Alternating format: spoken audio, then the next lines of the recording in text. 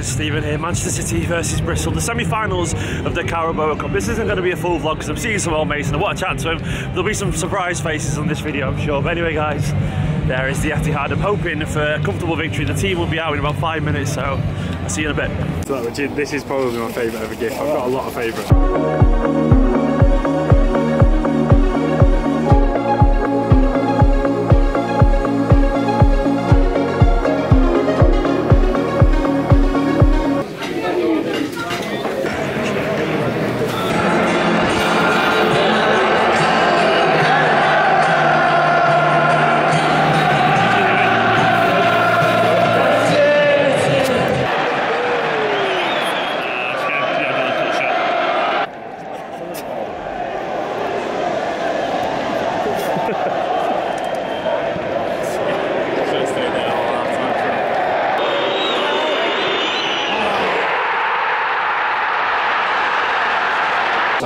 Celebration. You know the way they can do it. Dun dun dun dun dun dun. ah, it's Walter. I like that. One nil half time. I'm not worried. He's not worried, is he? No. Not at all. Never has. Four one City. 4-1. It's just same as Bristol. It's just same as Burnley.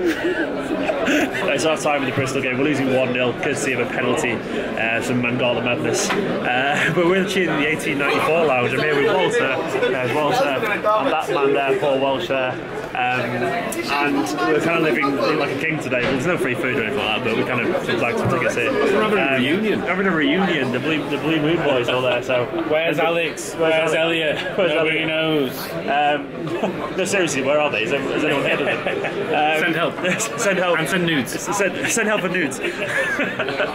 Choose which one you want to send nudes of. Maybe Alex. I'm more of an Elliot man. Uh, but anyway, the hard time, it's hard time of the game at the moment. I'm not really worried because it's like it's not even a, qu- it's a quarter of the way through the whole time now. Uh, and I'm sure we'll just send on the big boys at some point and we'll score a few goals. And then um, we all need a little bit of Walter's positivity. Four one. Easy. There we go.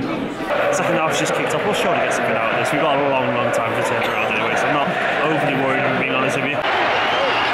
Oh!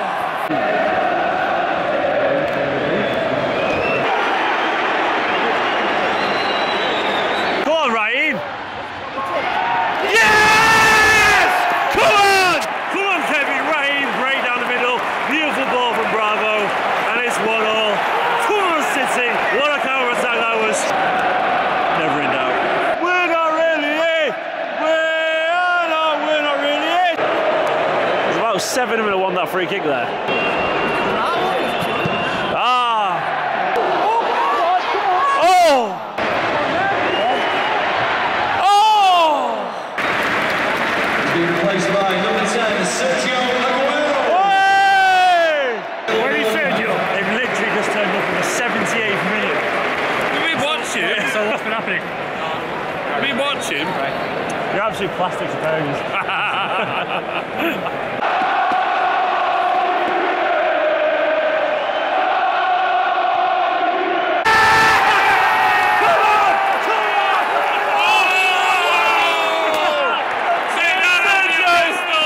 Fucking Aguero, take out Bristol.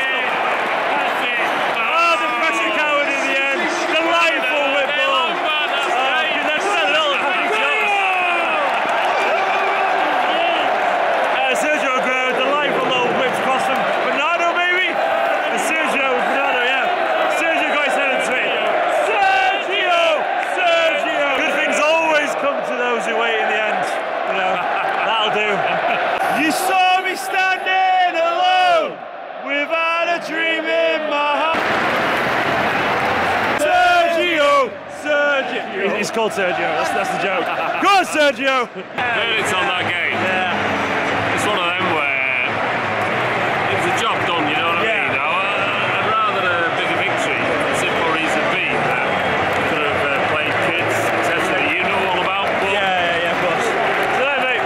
I'll see you in the final. Oops, that's me. That's the ever positive one for you.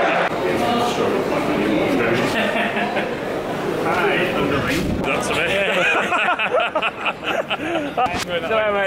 Bye. Bye, Paul. He's a man, and he knows all about routes, so we just end up Yeah, yeah. Hello there guys, it's Steven here. I've just literally got back from the game. I am absolutely exhausted. It's about half ten when I'm recording this. I've legged it home. Um, it wasn't a pretty game, let's be honest. It wasn't a classic by any stretch of the imagination, but did it really need to be? Did it need to be a classic? Of course it didn't. It needed to be, no, well not three points.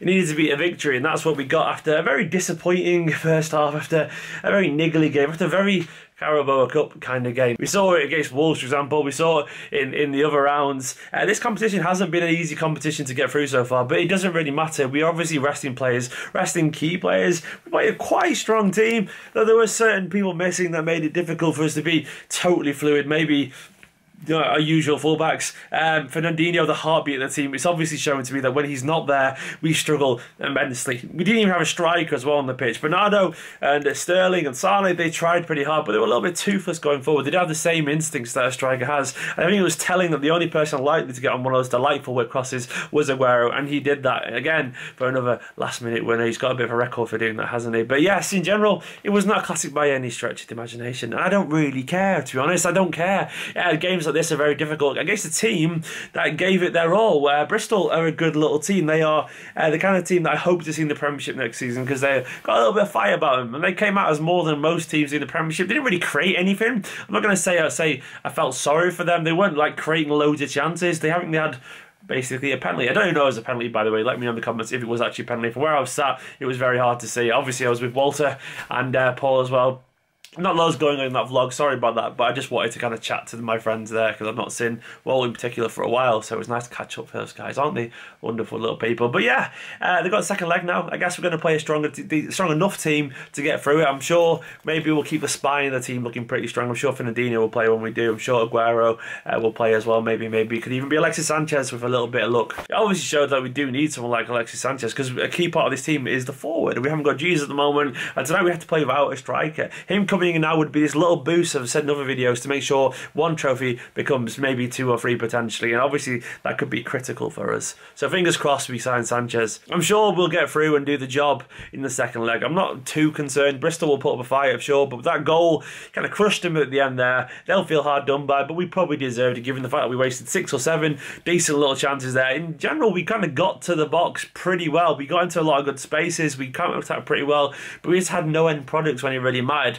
Uh, and that was our own fault in general, really. The, the defensively, we were pretty poor. I thought we looked a bit shoddy. Um, Mangala not good enough as we know. Zinchenko, I like, he's very near on the ball. I don't think he's a fullback by any stretch of the imagination, but he's obviously very comfortable. I still wasn't overly impressed with him tonight. He didn't do anything wrong as such, but I don't think he was that great. Uh, Danilo, okay. And Stones is still feeling his way back from his injury. I don't think he was that good tonight either. Not that bad, but not perfect either. Obviously culpable for the penalty, though I don't know if that was actually penalty or not because I've not seen a replay of that yet. Let me know in the comments. Anyway, guys, uh, that's this video. I'm going to edit this video now until about probably 1 in the morning, so I'll see you next time. Hello there guys, it's Steven here. Thanks for watching another video. I appreciate all your views and your comments and your likes and your shares and so on on Twitter and Facebook. You're all absolute stars. If you want to support this channel, please feel free to head over to patreon.com forward slash esteemed kompany. Even the smallest donations helps make this get a little bit closer to being a full-time endeavor one day, which is obviously my dream. But anyway, guys, thanks very much. All you do support, all these names rolling down the screen, you keep this channel going. So thanks very much and see you next time, guys.